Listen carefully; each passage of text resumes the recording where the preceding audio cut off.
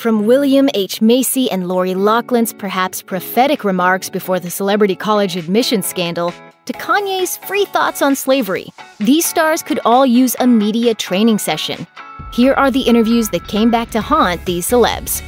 It didn't take long for William H. Macy's interview with Men's Journal to come back to bite him. In the Q&A, Macy was asked to reveal the best advice he ever received, to which he responded, "Never lie. It's the cheapest way to go.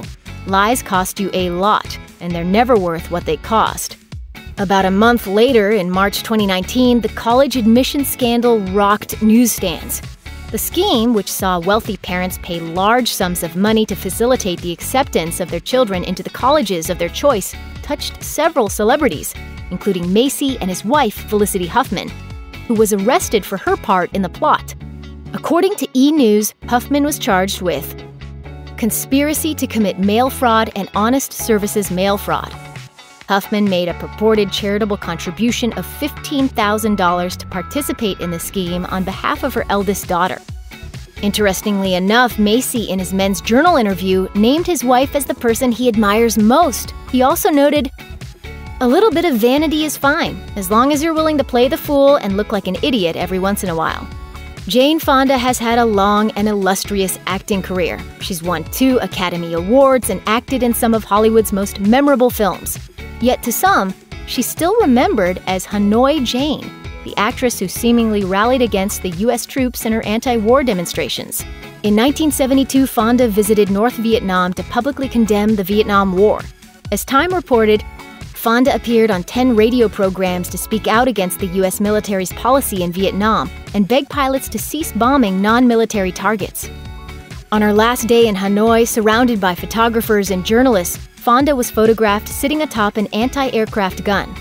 For this, she was labeled a traitor, criticized, and protested against. The image looked bad, and Fonda knew it. She told Variety, I am just so sorry that I was thoughtless enough to sit down on that gun at that time. The message that sends to the guys that were there and their families. It's horrible for me to think about that. On her website, Fonda wrote about the incident more in depth, saying, It is possible that it was a setup, that the Vietnamese had it all planned. I will never know, but if they did, I can't blame them. The buck stops here. If I was used, I allowed it to happen. It was my mistake, and I've paid and continue to pay a heavy price for it. Over the years, Mark Ruffalo has proven himself to be a bit of a spoiler aficionado. He's revealed more than he should on a few occasions. But the worst of all his spoiler reveals was actually a sleeper. It took time and hindsight to actually see how much the actor revealed. While chatting with Good Morning America during the Disney D23 Expo, Ruffalo got to talking about Avengers Infinity War. While Ruffalo looked like he wanted to reveal more than he should, his co star Don Cheadle advised against it. I can't. Can I say it? No. I would imagine. Can I just give him a little a say it. little I mean, taste? I wouldn't say too much, but you can say as much as I mean, hey, it's your Let me just. Ruffalo then carefully considered his words and said that it doesn't end well for the superheroes. Test passed, at least temporarily. But then, Wait till you see this next one. Everybody dies. Dude, dude, Dude. dude. Not everybody. No. Is that? No. Hey, whatever. now to some skeptics, the whole thing looked like a gag. Ruffalo appeared too eager to make news by giving away juicy information, and Cheadle's scolding along with Ruffalo's puppy dog act made it seem a little too put on to be real. IndieWire, pointing out that Disney owns both Marvel and GMA's parent company ABC, noted that some fans believed Ruffalo's error was fake. Because if it were true, Marvel would never allow the interview to be seen. Am I in trouble? A little. Is Barry gonna be mad at me? Dude, I don't I just move on. But when Infinity War finally came out, fans realized just how close Ruffalo came to saying the word half, and just how close he was to turning a potentially staged spoiler into a monumental and very real one. On January 8, 2016, authorities apprehended El Chapo, the infamous Mexican drug lord, after months on the run. Having escaped maximum security prison twice and long eluding authorities, El Chapo, according to CNN, became, quote, a symbol of the Mexican government's ineptitude and corruption. That same week, Rolling Stone published the interview between Sean Penn and El Chapo from 2015. The optics were awful. While Mexican authorities struggled to recapture the notorious criminal, the guy from Mystic River got a face to face. The interview's timing was perfect for publicity, but it created an unwelcome backlash for Penn. Speaking with CBS News, the actor criticized Mexican authorities who claimed that Penn's meeting was, quote, essential to El Chapo's capture.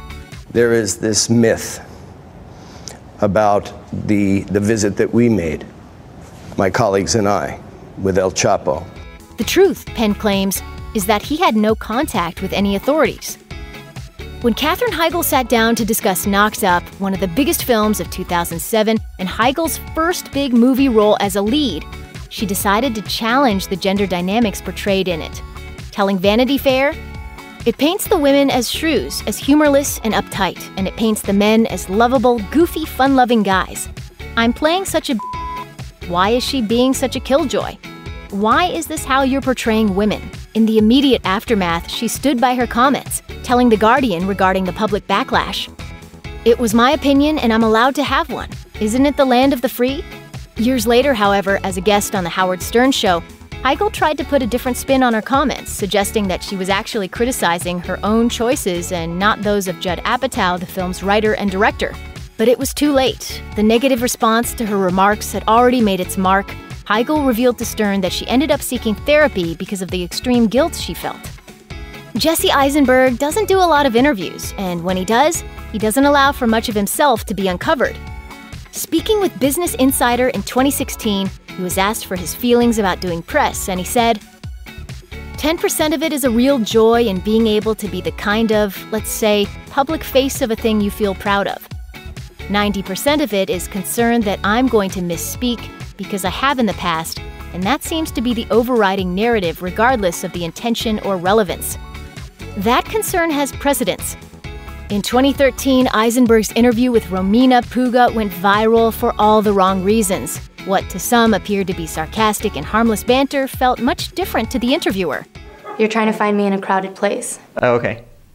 Romina. That's it? I would never yeah. hear you. The thing is, I actually didn't want to find you. Puga later posted a behind the scenes account of the interview to her blog, writing Jesse Eisenberg isn't very nice.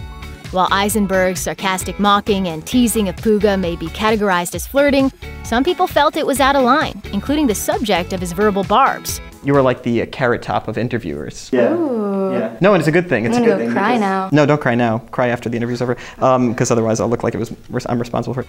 But was it so awful that he should be branded a jerk? Not for Eisenberg. He feels that people simply miscast his intentions. According to News Australia, he said of the controversy that was drummed up by the interview, a lot of it is just mean. I remember the interview, but it was just, like, funny. You just knew that Kanye West was going to take some major heat for his comments during his May 2018 sit down with TMZ. The famed rapper and producer entered some seriously controversial territory when he appeared to suggest that African Americans were somehow complicit in their own fate during the slave era, saying, When you hear about slavery for 400 years, for 400 years, that sounds like a choice. The backlash was sharp and immediate. Many fans, celebrities, and even West's friends criticized the star. Later, while visiting a Chicago radio station, West pointed to his quote, mental health situation as one of the many factors that led to his strange outburst. He also apologized for not considering the impact his words would have on people. I don't know if I properly apologize for how that slave comment made people feel. He went on to apologize for hurting people as well as for, in his words, the one two effect of the MAGA hat into the slave comment. I'm sorry for people who felt let down by that moment. It's hard to read John Mayer's March 2010 Playboy interview without cringing. The talk went in depth into Mayer's love life, in which he shared details that he probably should have more carefully thought through or just omitted altogether. He overshared about intimate moments with well known celebrities. He described his manhood as, quote, sort of like a white supremacist. And he dropped the N word as if to prove he had a, quote, hood pass. As noted by Billboard, the interview sparked controversy among fans and other celebrities, and the aftermath forced Mayer into an exile of sorts. In a 2012 interview on The Ellen Show, he said, it was a violent crash into being an adult, so for a couple of years, it was just figuring it all out. He also said the quote, dumb interviews woke him up. Five years after that, Mayer spoke with the New York Times about getting a second chance, knowing that the public still hasn't forgiven him for his harsh words. They say that there's a grain of truth hidden in every joke. While that may be true, it's not often that we get to see this played out on video, especially not with celebrities and almost never regarding a major scandal. But that's exactly what we got with Lori Loughlin. In December 2017, Loughlin joined her daughter Olivia Jade on her YouTube channel. In the video, the actress guesses the meanings of some of the current slang terms used by kids. It was anything but noteworthy. But then the news broke of the college admission scandal. According to court documents that E! News obtained, Loughlin and her husband agreed to pay bribes totaling $500,000 in exchange for having their two daughters designated as recruits to the USC crew team. Despite the fact that they did not participate in crew, thereby facilitating their admission to USC. Afterward, viewers with keen ears and memories recalled a joke that Loughlin made in the YouTube Q&A session. When Olivia Jade brought up the phrase, England is my city, a line in Jake Paul's It's Everyday Bro, Loughlin quipped, If you would have said England is my city, I would say, why did I pay all this money for your education? Check out one of our newest videos right here. Plus, even more Nicki Swift videos about your favorite celebs are coming soon. Subscribe to our YouTube channel and hit the bell so you don't miss a single one.